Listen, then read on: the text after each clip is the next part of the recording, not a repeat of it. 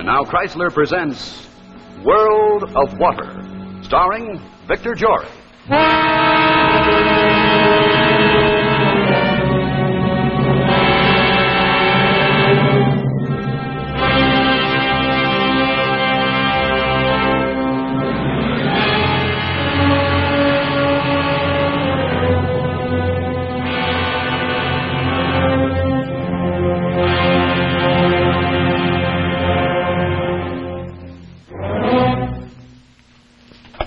Send Nelson in. And we're not to be disturbed unless it's urgent. Hi, Chief. Any word yet, Les? Not a thing. My men are checking every railroad, bus line, and airport in the city. If he's still here, we'll find him. We never should have let him get out of our sight. The way his mind is working now, he's too dangerous. Much too dangerous. He'll turn up. He's got to. My bet is he goes back to that boarding house. We should have kept closer tabs. It's my fault. I should have tried talking to him once more. Oh, no use blaming yourself, Les. Kramer's a strange man. Egotistical, stubborn, and psychotic. That's what we should have remembered. What about the reports? Any new ones coming in? Yes. Last report was flashed from Baltimore only an hour ago. Just waiting to get him. Wondering where he'll strike next. What city? What state? Oh, this is no good. Let's go over his files again. Maybe if we hear it read aloud, we get an idea. Right now, we're certainly working from the shoestrings.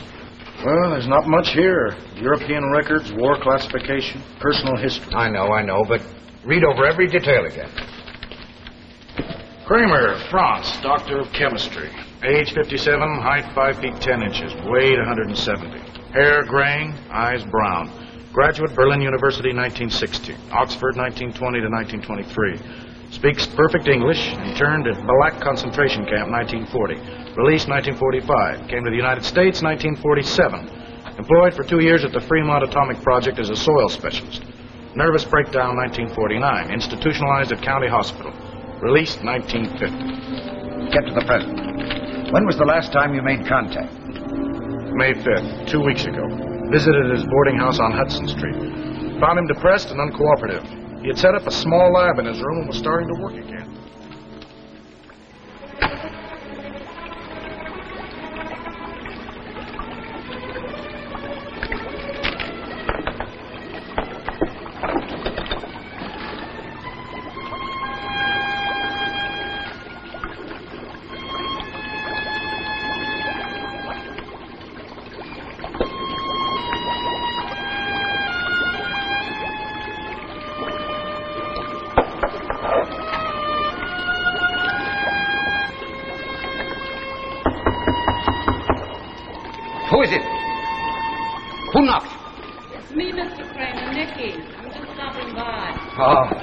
Nicky, just a moment. Just a moment. I will be with you shortly.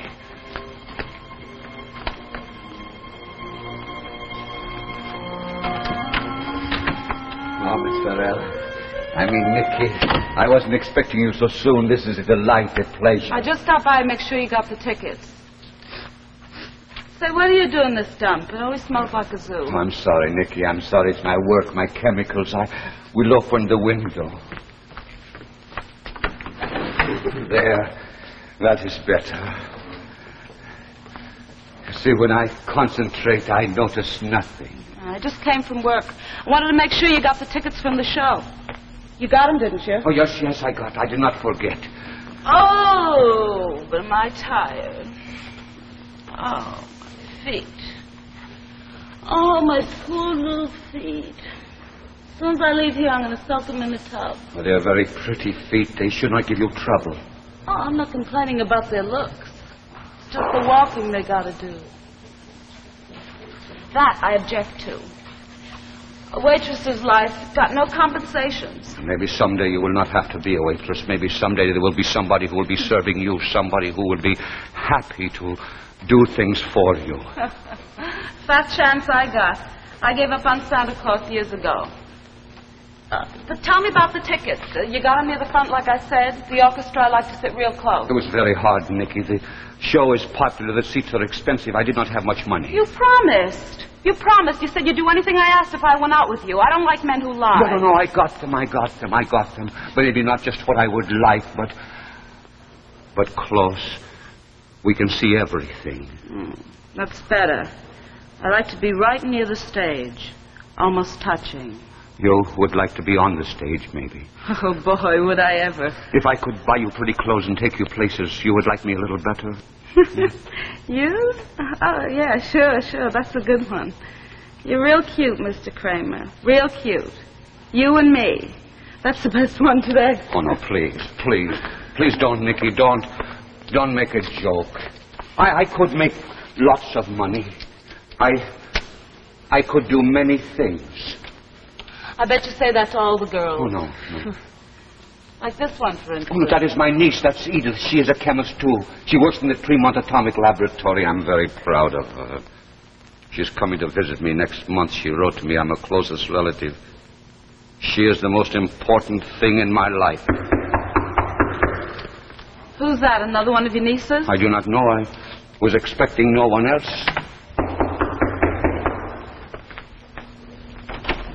Hello, Ah. Dr. Kramer. May I come in? It's you. I told you once I was through with you.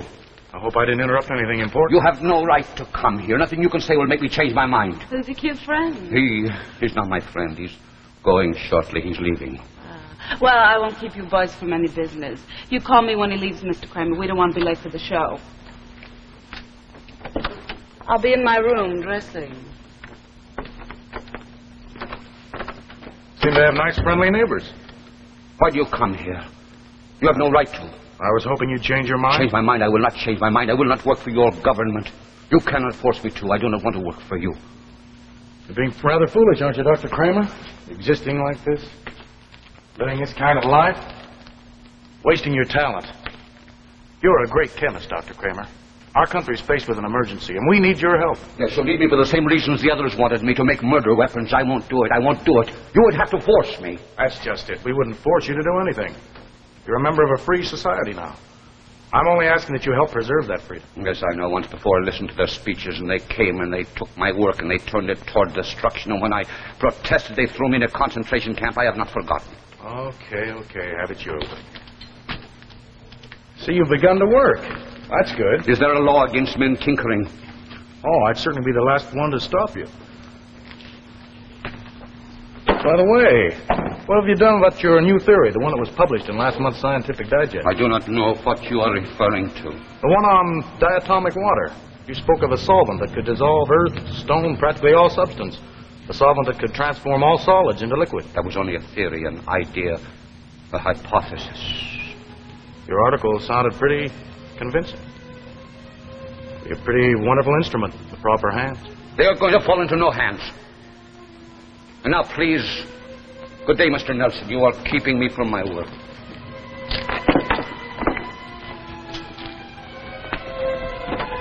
Dr. Kramer, don't bear a grudge against 150 million people. They're just human beings. They want the same thing peace and happiness. Good night, Doctor.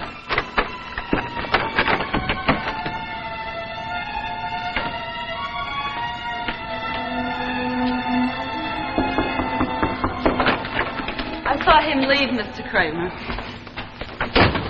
Aren't you ready yet? I'm getting a little hungry. No, come in, come in. Just another minute. Don't you think I look like Shelley Winters? Who? Ah, oh, you. You don't know nothing. She's a movie star. Everybody says we're spitting images. No doubt, no doubt. Your Friend was kind of cute. He's of no importance. He wanted to give me a job. Oh, a job. Say, that's swell. Maybe you'll be making more money. Maybe we'll go out more, shows and stuff. I want nothing from him.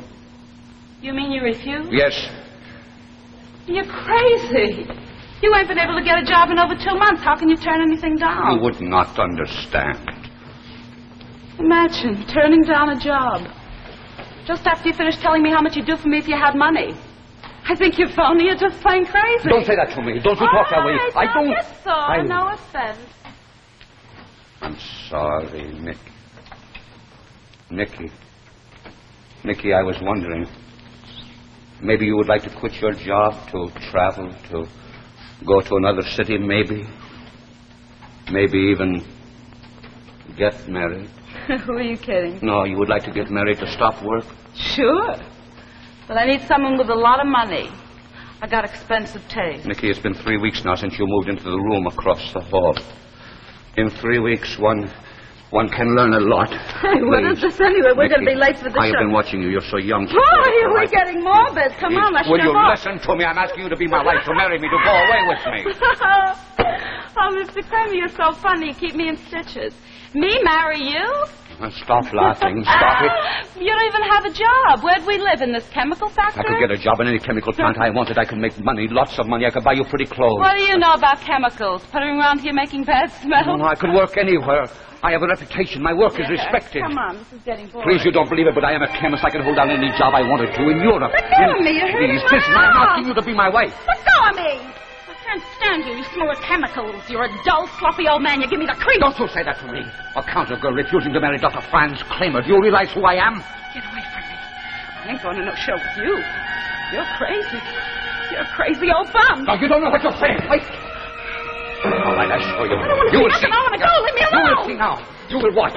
You will see what I am capable of. You will watch. What are you going to do? Don't hurt me. I didn't mean nothing of it. I'll show you. There. That is what I could have given them. That is my secret. That is my work, my creation. What is it? I have found a process will make a solvent, will solve and turn everything to water. All solids, earth, rock, metal, everything dissolves in my solvent. Oh, leave me alone. I don't want to watch. dull old man, you call me, all right. Look at this. I will show you. I could change the world to water if I wanted to. It feeds on everything. No, not call me names, call me and old, but remember this. Remember, I am the man who holds the world's destiny in his Oh, fingertips. please don't want one left. Well, just leave me alone. Oh, this you must know. This you must. I don't want to No. see. I don't want to see.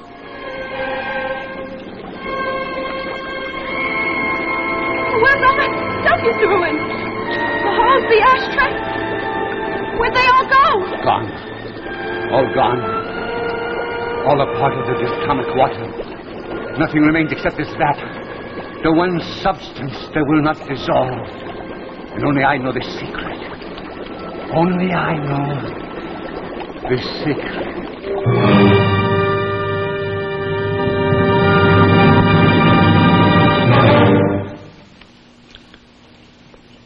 Hello there. Let me tell you why I'm wearing this cap. It's to remind you of a very important event graduation. Now, if you know someone who's graduating, you may have a problem selecting a gift. And certainly, you'll want to give something that will be loved and used. For example, if you're choosing a gift for a girl, here's a wonderful idea the new bracelet watch, the exciting new style every girl wants today. Now, you'd usually pay $50 or more for a glamorous gift like this. But I can show you a way to get this same style at a saving of $40. You can transform the watch she now owns into this exciting modern style if you give her a new fantasy watch band by Kreisler. And look what happens when she adds this to her watch. Yes, immediately her watch becomes a beautiful new bracelet watch. But you don't pay $50. You pay just $9.95 for Kreisler's Fantasy and save $40. Now, here's a close look at it. The new Kreisler band that really becomes part of her watch, that makes it high fashion, and a true bracelet watch. It's the new Kreisler band called Golden Fantasy. What a wonderful gift for a graduate. And notice this this band expands. So when she wears a fantasy, she gets all the safety and convenience of an expansion band. And practical? Well, when she's doing work around the house, she can slip fantasy up out of the way. And Golden Fantasy costs less than many ordinary bands. Only $9.95, federal tax included. So go to your jeweler, ask to see the perfect graduation gift. The Fantasy Watch Bracelet by Kreisler. Now back to our story World of Water, starring Victor Jory.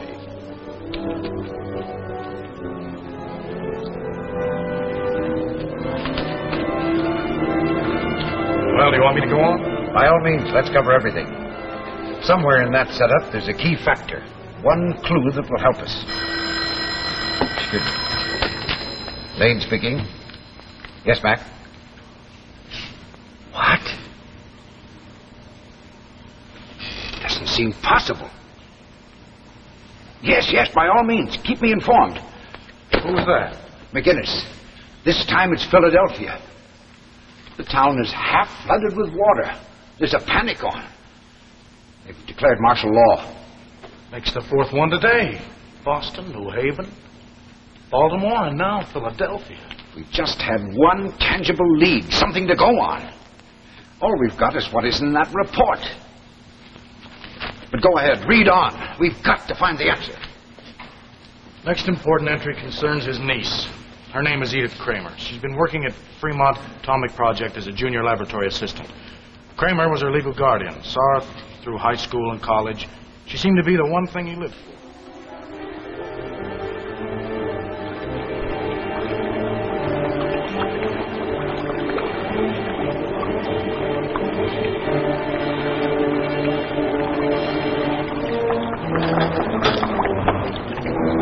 Who's there? It's only me, Mr. Kramer. Mrs. Hayes. Oh, yes. Yes, I come. I come. I am busy. I don't have much time. But I ain't seen you for over a week.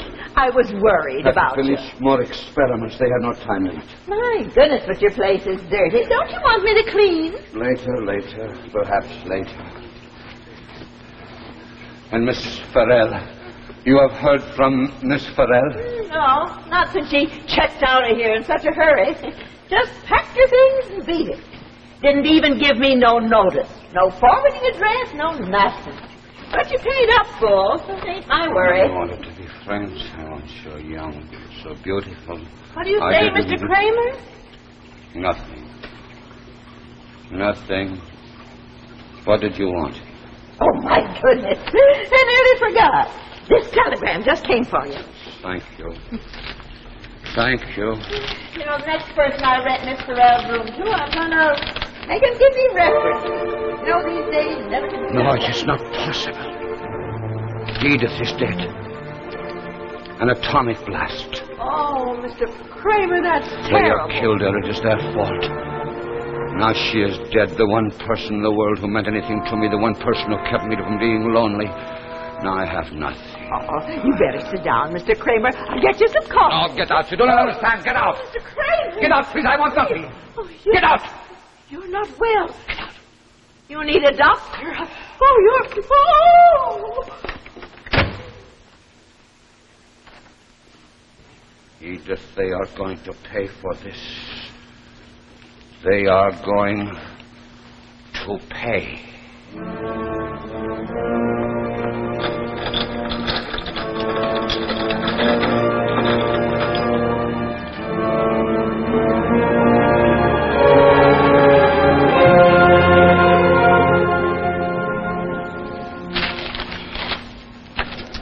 Week ago. That's the last anyone saw of him. Seems to have vanished into thin air along with all of his equipment. There's not a trace. Excuse me. Lane speaking. What? Where are they located? Yes, yes, by all means, send out every available unit. This thing must be stopped. They what? Well, you tell them that they've got to find a way. Wait a minute, I'm coming right down. Three new pools have been discovered in Atlantic City, Wilmington, and Scranton. They're moving inland. Isn't there any way of stopping them? No, not not anyway, apparently. Our best men have tried, but they can't seem to find out what it is. Well, they just seem to spring out of the ground and spread steadily. Where are you going? Down to communications. I've got to have first-hand reports. Well, what about Kramer? Well, keep after him. In the meantime, alert all units to stand by. Chief! Chief! Oh, Mr. Nelson, there you are. Dr. Kramer. Where have you been? We've been searching everywhere I for want you. to see the head of your department. I have something to announce. Is it about the water pools? You are the one I responsible. speak to no one except the head of your department. I have a demand. It must be met. Things have got to be stopped. Do you have any idea what you've unleashed? This is just the beginning. You will never get away with this, Kramer. Our experts are already at the flooded areas. They'll dispose of them in no time. Well, we'll see. Will they? Will they? Look, Boston, New Haven, Philadelphia, Baltimore, the reactions are spreading. Each drop multiplies itself. Nothing can stop it. But how? What chemicals? You remember my article on diatomic water, my theory that all solids could be liquefied. Yes, but you said it was only a hypothesis, that it couldn't be done. I lied to you. It has been done. It is being done. All along the coast are 50 vials planted, and they are growing already, spreading, joining together. And only I know the compound that can stop it. What compound? How can you stop this thing? How? I must speak to someone in authority immediately. But Dr. Kramer, you can't let this thing spread any further. Every second stops. Tell us how to stop this tragedy. They are going to pay Edith. They are going to pay Edith. You're out of your mind. Don't you say that. The reactions have started. Only I can control them. You're ill. You can't know what you're doing. Get me the hospital. Hospital. Yes, please hurry. This is an emergency. Yes. Dr. Kramer, where are you going? Wait! Kramer, wait! Who is that, Nelson? Dr. Kramer, he's got to be stopped. Kramer! Hello. Get me the front entrance. This is an emergency. Hello, Boyer. This is Nelson up on two. There's a man with a briefcase coming out the front entrance. Alert all attendants. He must be stopped at all costs. He's insane. Right. If he gets out in those crowds, we'll never find him. Did he admit that he was behind all of this? He boasted of it. Set up a chain reaction along the whole Atlantic coast. He says nothing can stop it but some special compound that he's created. And that's stored away in his sick mind. Hello? Yes. Yes, Boyer. No, it can't be helped, thanks. Well, they missed him. He got away somewhere out there in that crowd. Well, where do we go from here? I don't know. He didn't leave any notes. He destroyed everything in his room before he left. But somewhere there's got to be an answer. Well, we'll just have to go back and question everyone who ever knew him. Anyone who might possibly give us a lead. Like I said, he was a nutty old guy. Didn't even know who Shelley Winters is. I didn't go for him for a minute. I remember the night he asked me to marry him. he was playing around with that chemical stuff. Threw a lot of things into a tub of water and they all disappeared. I never seen anything so crazy. I think he was trying to impress me or something. He was nutty. Nutty like a fruitcake. He was a he was a nice, quiet man. No friends, no family, just that one niece. Oh, she was a lovely girl, and he was awful proud of her. And then that telegram shocked him, it did. I could tell it affected him awful. You see, he was all alone. I guess nobody even remembers him anymore. Only six hours. And almost half of the coast is already flooded. Nelson, I want you to contact every newspaper, every radio station, television station, because we've got to find this man Kramer. Broadcast his description to every city, town, and village in this country. Somewhere he's starting another flood. Every new stretch of water must be reported. Whether it be in a field, a backyard, or a city lot. We've got to stop this terror. Time is fleeting.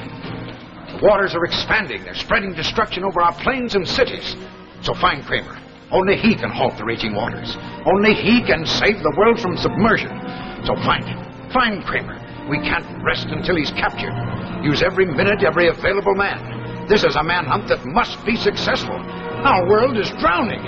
So find Kramer. Find him before it's too late.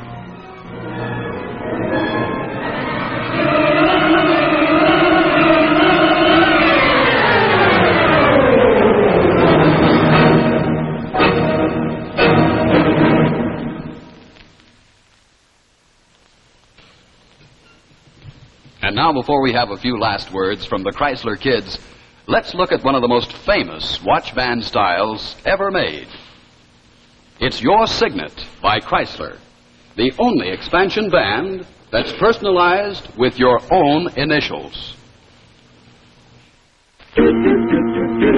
Jack Kreisler Jack Kreisler. on my hat. On your hand. Initial just for me, and so it's my band. It's your band. It's Kreisler. It's Kreisler For me too. for you too.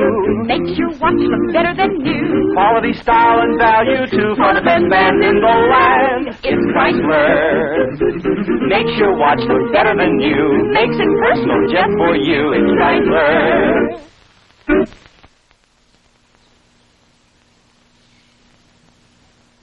Suppose a medical doctor suddenly acquires fabulous equipment that cures every known disease.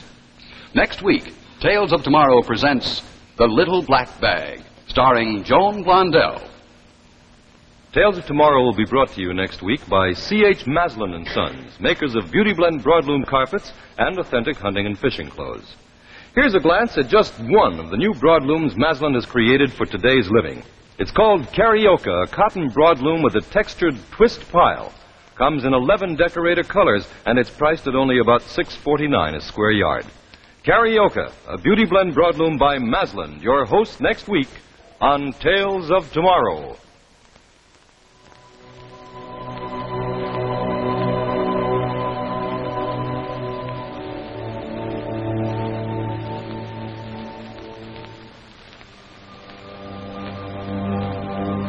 Talbot's gowns by Hannah Troy and Ann Verdi. Makeup by Harry Burkhart.